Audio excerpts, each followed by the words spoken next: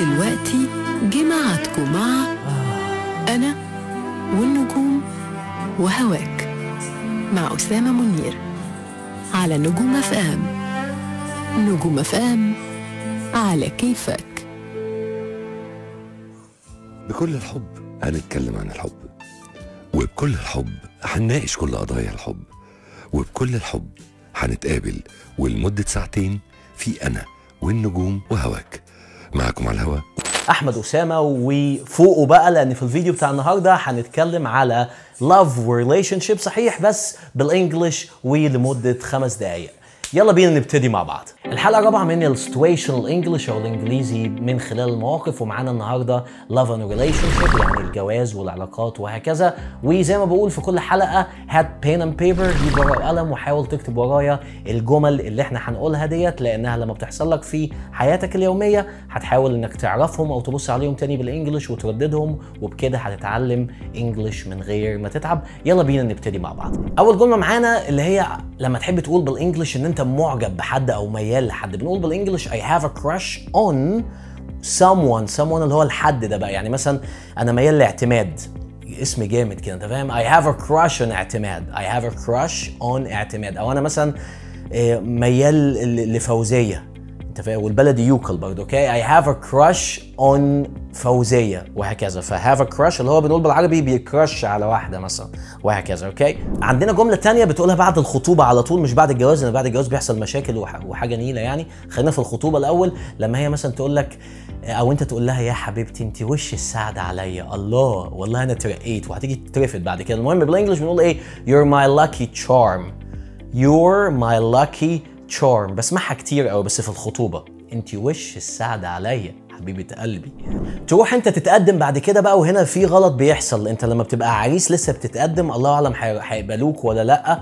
بتبقى اسمك suitor suitor suitor أو بالبريطاني suitor يعني okay لكن groom ده عريس خلاص اتنيل على عينه واتدبس okay اسمه groom يبقى groom خلاص شبك أو كتب كتاب لكن suitor لسه واحد راح يتقدم عشان ما تتلخبطش ما بينهم بس. عندنا كمان المهر بتاع العروسة طالما إحنا بنتكلم على الجواز النهارده وكده اسمه بال English bride price bride price أقول لك سريعا كده برضو كمان أنواع الجواز في ال English في حاجة اسمها جواز صالونات عندنا اللي هو بال English اسمه arranged marriage. في جواز عن حب اسمه love story marriage. في كمان آه، جواز آه، مصلحة okay أو منفعة. اوكي marriage of convenience marriage of convenience عندنا كمان آه، في حاجه اسمها اه shotgun marriage shotgun marriage ده اللي هو جواز آه، تخليص حق. عارف يعني إيه قفشوك معاها آه، في كمبيالات عليك المهم يعني فبيبقى جواز في السريع كده أنت فاهم؟ عندنا بقى بالترتيب كده مع بعض I got engaged يعني أنا اتخطبت. مبروك ألف مبروك. أو I got married أنا اتجوزت. اتنقلت على عينك. أو I got divorced أنا اتطلقت وتبقى خدت القرار الصح. يبقى I got engaged I got married I got divorced. أوكي؟ عندنا بعد كده جملة وتعبير تاني مش عارف هتستخدمه فين بس ممكن يحصل اللي هو pick up a woman.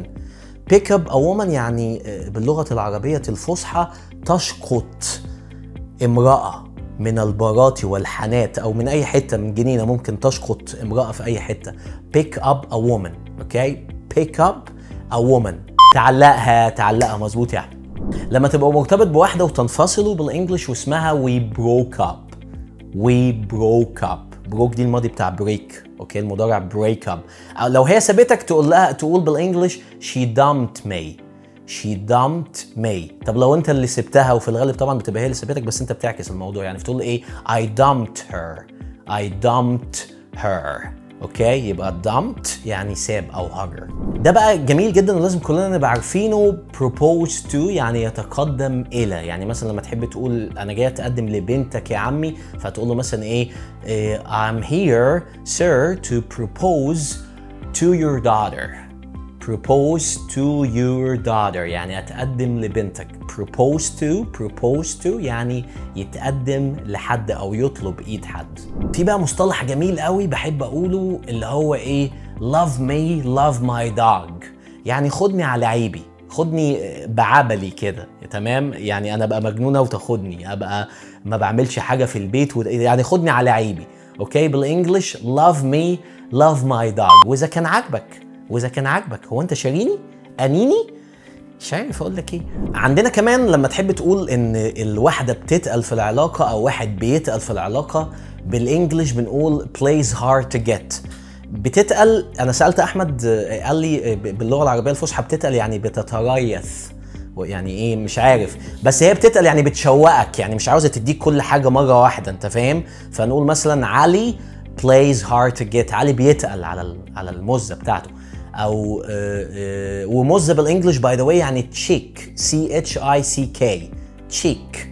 أو مثلا شيماء plays hard to get شيماء ب ب ب بتتقل برضه وفي النهاية العلاقة هتبوظ سيادتك أنت فاهم؟ الاثنين كده يعني.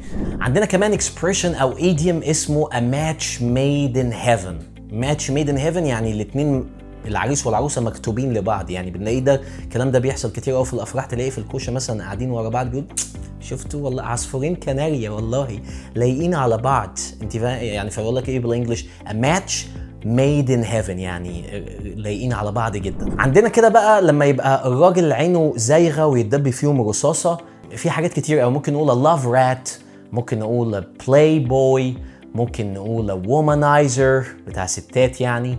okay and so on. تمام. لو الفيديو عجبك ودي رابع حلقة please share and like عشان نعمل الحلقة ال 100 يا أخي. ليه لأ؟ يعني عندنا طموح.